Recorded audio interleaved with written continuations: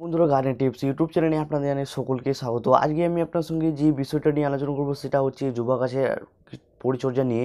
এই সময়ে আপনাদের যদি এই সমস্ত পরিচর্যাগুলি করেন, তাহলে কিন্তু যুবা গাছে ভরপুর ফুল পাবেন এবং কী কী ধরনের পরিচর্যা করবেন সেটা আমি আপনাদেরকে এই ভিডিওতে বিস্তারিতভাবে আপনাদেরকে বুঝিয়ে বলব ভয়েস ওভারের মাধ্যমে ব্যাক ক্যামেরা থেকে।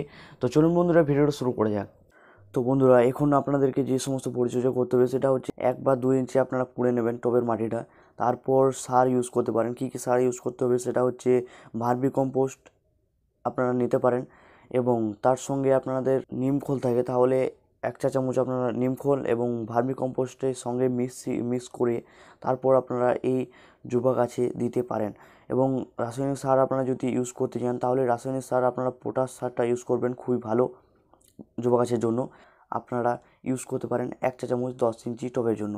এর থেকে যদি বড় টব থেকে থাকে তাহলে একটু পরিমাণটা বাড়িয়ে নেবেন।